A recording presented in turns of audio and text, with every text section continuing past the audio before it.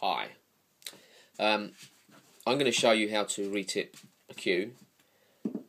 This one has got my blackspin ferrule, which is a different material to your, your normal brass. It's still very tough, but you need to be careful um, as you do with brass. It's very easy to mark it or um, cut it, scrape it um, with a knife. Anyway, first thing to do, take a blade. Make sure it's a new one, sharp one. Um, if you try to cut tips with blades that are not sharp, you're just going to be pulling them and give yourself problems. Anyway, I'm going to try and get this cue in a position where I can work on it. I'm going to lay it down on the table. You can't quite see this, but it's on a surface. Um, I'm going to lift it up so you can see.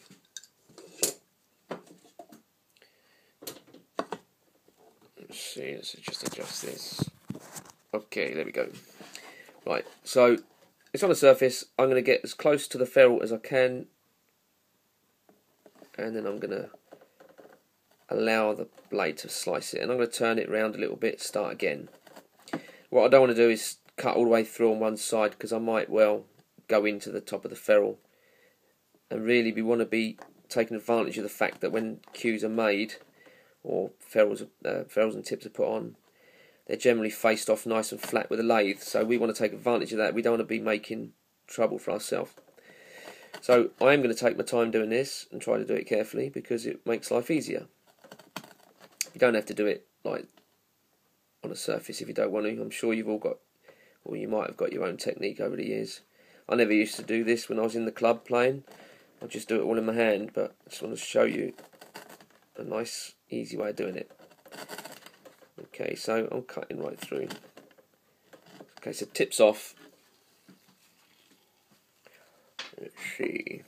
Let's change the angle.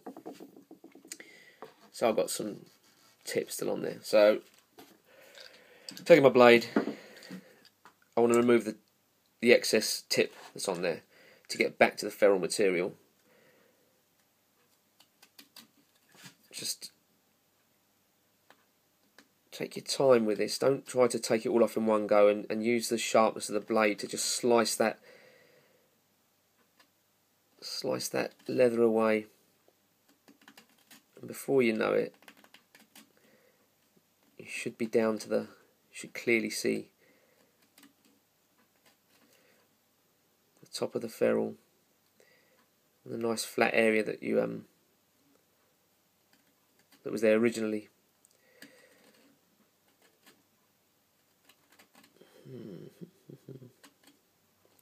I'm doing this really carefully. I would work this much faster, and I used to do it in no time years ago in a club. But I want to want you to see that. Take your time. Let's come back up here anyway. Eh? Have a look at my face. Now, once you get it nearly gone, let's see if I can show you. You see, we're nearly there. Now, these black spin ferrules, and I want to say here, it's not just a black ferrule. There's a core inside this cue. Okay, but anyway, this has got a a plain black top. So if you can see in the picture, we're almost there. A little tiny bit of um, little bit of leather left. So I'm gonna just use the the tip of it and just try to just scrape away those bits. Okay, I don't want to be going cutting over the edge of the ferrule, causing a, a sort of convex surface because on you'll never get a tip to stick properly if you got that.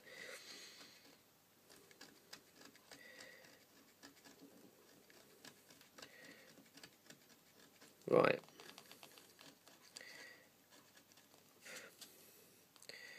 So that's looking a bit like there's nothing really there, just a thin layer of glue.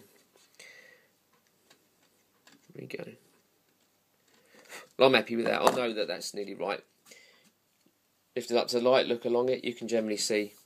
I'll then take a little bit of sandpaper. This this is a 120 grit. It's a specialist paper, but any any do really. Um, maybe something like 180 actually. This this 120 is not as um, abrasive as a as rough as a, a cheap 120 grit. Anyway, use my fingertip right in the centre of the tip. I'm going to hold pressure in the middle and sort of rotate the cue. So I'm just taking the last little bits off.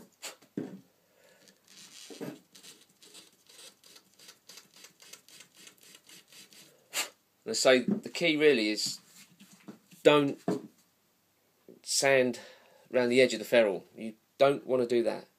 So the pressure is in the middle and try to make sure you're pushing down the middle and sort of work your way out, but don't put any pressure to the edge. Okay, you've got a nice flat surface now. Um, now, to avoid making a right mess, depends what glue you use, to avoid making a mess with super glues, which most people use, I'm going to take some masking tape and put it right up close to the tip. Tear a bit off. See, I've just put it right up close. Yeah. I'm going to use uh, super glue. I'm going to put one of these tips on. This is my new. I don't know if you can see this. My black spin tip that will be complementing the black spin Corum ferrule. A beauty this is, I don't know if you can see in the light, it's actually got a small bit of imprinted writing on the bottom there, which acts as a good sort of glue, sort of a key for the glue. Um, it's also flat, so you don't need to sand this. If you want to, very lightly, but this is flat. So make sure you blow the dust off. Dollop of glue. I'll try not to make a mess, but I expect as I'm trying to show you something tidy, I'll pour it all down the side of the cue. Right, position it. Uh, by the way, I use a thick glue, which gives me time to move it a little bit. Mm, that's not the most central one I've put on, but it's over the side of both, all around the ferrule, so it'd be alright, I better cut it down. When I used to play in the clubs and change my tip, I would just stand there for, you know, a minute or something, pushing down um, but if you've got one of these, they're handy. Always make sure if you use one of these, make sure these holes, there's no sharp bits because you can scrape your, your shaft. So you go down, holding this ring up, push down, pull it down, and there you go. Put it to one side. You know, super glue. They they go off quickly, so you can work them. You know, almost straight away. But if you can leave it for five minutes. It's always good. Right, I'm not going to bother because I know that's stuck. Right, so I'm going to take this off now because that, that just stopped me getting glue on the ferrule. But I will put it back again later. I think if I need to sand the side of the tip, I'll try to do a nice tidy job. Sometimes you do need to get in there. Yeah, definitely not the straightest tip I've put on. That's the pressure of being on telly. Now, um, ah, I haven't got room. Let me turn around. I'm going to put this now. Ugh. I'm going to put this upside down on a flat surface. I'll do it here. You can't see it. Mm, that's no good, is it? Let's adjust this now. Here we go you can see. Yeah. Right, so again, sharp blade, a new blade. Don't waste your time with an old one. Pushing up, using the side of the ferrule as a guide, but taking care not to dig into the ferrule because you don't want to be scratching your ferrule, damaging it. Um, like I say, this material, this black material, is, is very tough, but you can you can damage it if you're not careful but exactly the same as brass. A number of times I've I've sliced a bit of brass I'm doing this, you know. So it's just a case of getting your technique right and avoiding damaging it. So use the side of the the ferrule as your guide, and slice down. And as you slice down, just turn the cue So you're following the line of the ferrule and getting that tip very close to your ferrule size. I tend to go around a couple of times because you often miss, miss bits, but I want to get this really as round as I can. I don't want to be sanding it away. I want to let that blade do my work for me. So that really I've only got to do a light touch up at the end and just shape the top. Oh, that'll do. Okay. Um, by the way, if you want the mushroom tip, take care when you position your tip on. Um, make sure it's central all the way around, and then it's just a case of just lightly sanding the sides down and the top. Uh, but anyway, this is this is a cut to size one. So as you see, I think a little bit sort of pokey out where the blade's ridden up. But I'll deal with that. Two ways of dealing with it. You can either sand it. adjust that back down again. You can either sand it, but you've got to be careful with your shaft here. Or what I do a lot is again take the blade, I will then work this way up where I've got more control and I can see. And again, using this, that side of the ferrule as a guide, I'm just shaping it more. And because the blade's so sharp, it's not pulling the lever. That's the important thing. My thumb is pushing down as well, so I'm holding the, the tip. I'm not just pulling up, which is, you know, it's going to tear the lever. So very sharp blade and pressure on the top still. A bit like when it's turned upside down. You know, I'm pushing down on the surface whilst I'm cutting. So that helps to not let the lever get pulled apart, if that makes sense. So anyway, I'm, I'm going to end up messing this up because I'm talking. And uh, my thumbs are quite, my skin's quite tough now, so this blade, it may well cut you, but it doesn't cut me. Okay.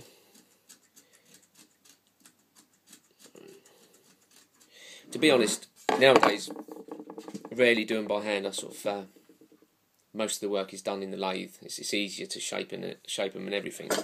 But I just want to make sure you see. Now I'm going to go back to the masking tape because I want to get the cue shaped up, but I don't want to sand the cue. So the cue tip sorry, shaped. So I'm going to put a bit of, just going to roll down the shaft a little bit, just to, to make sure that any any strokes don't go into the, into the shaft. Um, take a piece of sandpaper, try and create a, you see that, sort of rounded bit, so that you can sort of follow the shape and you come down strokes like this. So the masking tape's a good idea. Uh, most cues I get in for repair, they've been well butchered really. You know the the shafts are all worn in where it's been sanded. Ferrules are all scratched and scuffed and horrible. So you know it saves your cue. It's recommended.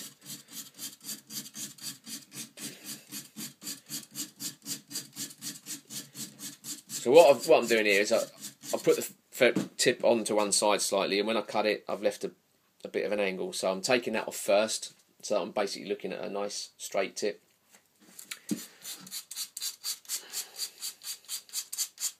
So every one of these strokes is down. You sort of using the shape of my hand to keep it in, in um, keep it round. so these tips are nicely shaped. If you put it on nice and central, you, you're virtually finished, You just need a slight touch up. I didn't put mine on central, so I've now got a high side. I don't know if you can see there. So I'm going to just quickly shape it.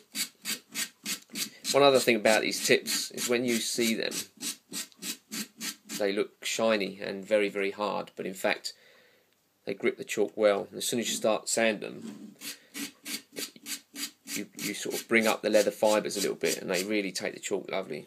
Um, but because they're very hard, they're compressed quite hard. They're uh, they're less likely to mushroom, and more likely to play just right the moment you play a shot with it. A lot of press tips too soft and take a while to bed in, if at all. Sometimes they never do. Just poor bits of them. Poor bits of leather. Um, I moved. I actually I shouldn't have used that sandpaper. That's the, the 120. That's too rough. Um, see, I'm talking. That's that's what happens. Something like a 180 grit or 240, because otherwise you do start to tear the leather a little bit. It starts to fluff out too much. You don't want that. And these tips are pretty much spot on you won't see a tip like these, say, when they arrive. Well, actually, I don't know, maybe you will. Most tips I've used are not like these. Um, and these are made right here to my secret recipe. We hand make them virtually, pressing each one to get to just get them right. A little bit of magic involved, but anyway, less of that. This is just a retipping lesson. Okay, so can you see? It's pretty good. I'll do some more up the side now, I think. Because I've got a lighter grit now, I know that I can afford to go up and down a little bit. I know that I can get away with that. I wouldn't advise you to always try and keep down. But if, if you know what, if you know sort of how strong your sandpaper is, and what your tips normally do when you go up and down, you can you can do what you want. Right, because this is masking tape, it should just peel off quite nicely.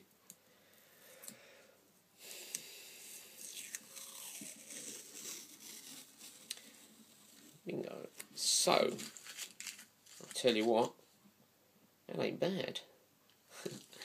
um, so this, I only showed you this to help you not damage your cue. We don't do this at all. You know, I say I use a lathe mostly now, and I never used to do that. You don't have to do it. If you're careful, you can do it without. But if you look now, get my angles right. See, you've got quite a reasonable shape on that tip. Is it focused? I don't know.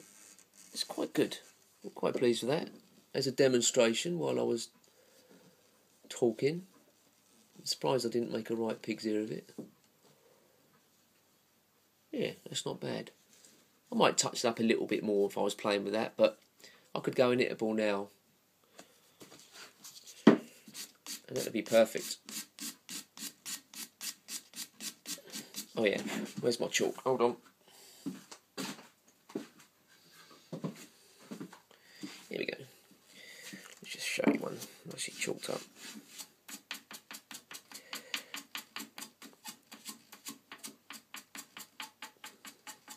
There you go.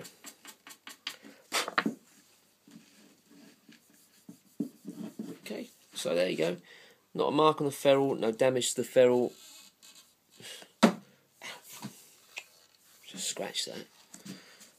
This is that. This is a dodgy bit of chalk. It's that light stuff.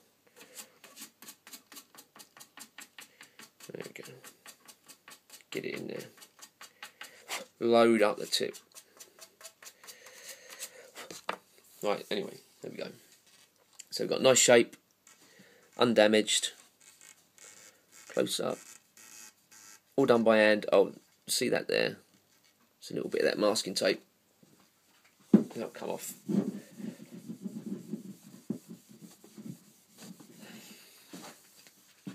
There. Okay, tip done. Took me 20 minutes. Really, it's a five minute job when you know, you know, when you've done it a few times. Remember, sharp blade. Sharp blade. Try not, don't Ah, I forgot to say that. Don't mess about with these things, files. Don't put your file. Don't, number of times I've seen someone with a file on top of their ferrule doing this. The only thing you'll do with this is make your uh, ferrule tip end convex, and you'll have problems sticking tips. Okay, try to take advantage of the fact that your ferrule was flat when you bought it. So use a sharp blade to just cut away carefully the tip to reveal that flatness and then a very light sand to, to give a little key for the glue. That's all you need. Um, you can use these with a felt filing if you really must because you can hold it flat and you can just turn it slightly, but I don't recommend it. Okay, there you go. 20 minutes to put a tip on. Unbelievable. But that's how you do it without damaging your cue. Over and out.